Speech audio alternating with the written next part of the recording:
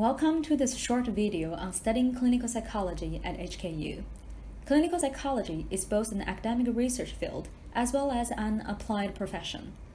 At HKU, our clinical faculty members conduct active research programs that cover a wide range of mental health related topics and provide trainings for the next generation clinical psychology practitioners in Hong Kong. Next, please allow me to give you a brief introduction about what kinds of knowledge and information you may gain from joining us. Clinical psychology as a field is primarily concerned with mental health problems.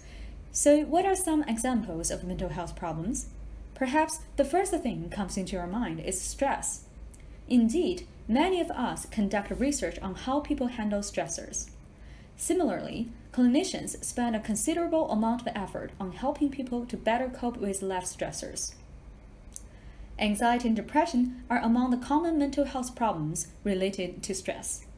In addition, difficulties in daily routines such as sleep problems, concentration and attention problems, or having hard time in social life are also subjects within the scope of clinical psychology. Finally, problems like hallucinations and delusions are also among the matters we care about. So, how do clinical psychologists help tackle these issues?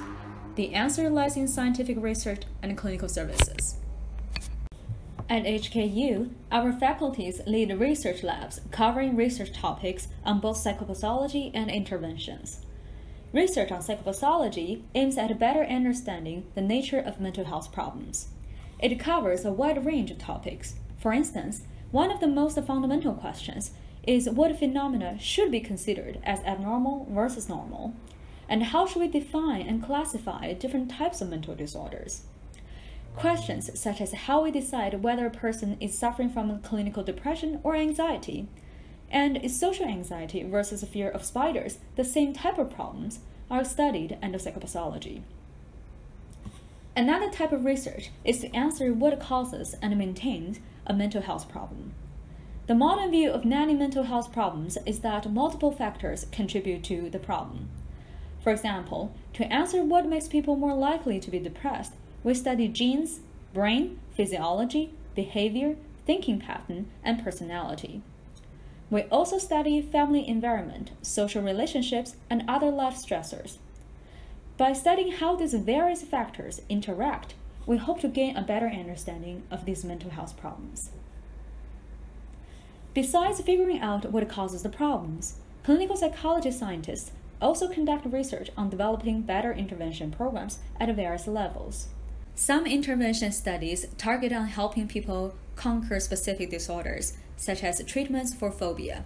Some intervention studies help people resolve specific issues, such as how to improve sleep quality. By doing so, researchers help generate applicable knowledge to improve the well being of people who suffer from these problems. Moreover, intervention has a much broader scope than just the treatment. Given that mental health issues typically involve the household environment as well as the society, research teams at HKU also study how to implement programs at the community level so that we can intervene earlier and before the problem gets too severe. The other important component of our training is on clinical practice. The clinical psychology area provides professional training programs for clinicians in Hong Kong clinical psychologists in the field apply our knowledge to directly help people improve their quality of life. Clinicians trained from our programs conduct assessment to figure out what the problem the person is experiencing and what are the possible causes. Then, based on the assessment, we provide treatment recommendations. Clinicians also provide interventions to directly help the individual in need. For example, many times we can help people feel better by helping them to change the way they think and the way they behave. And of course, it is often a teamwork.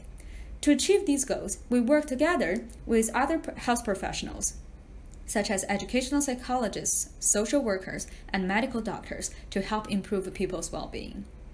Okay, after this brief introduction, if you are interested in getting to know more about our programs, please find more information from our websites.